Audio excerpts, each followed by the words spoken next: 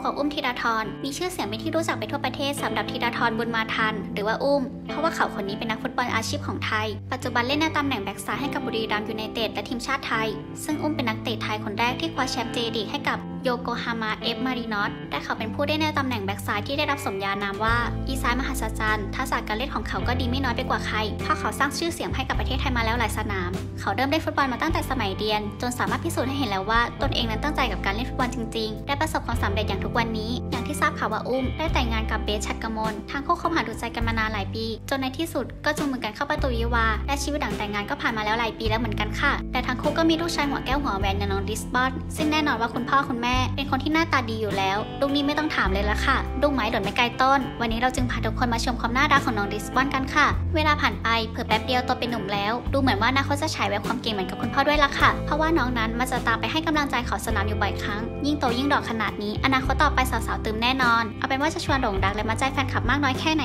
เราตามไปชมภาพของน้องดิสบอนกันเลยค่ะ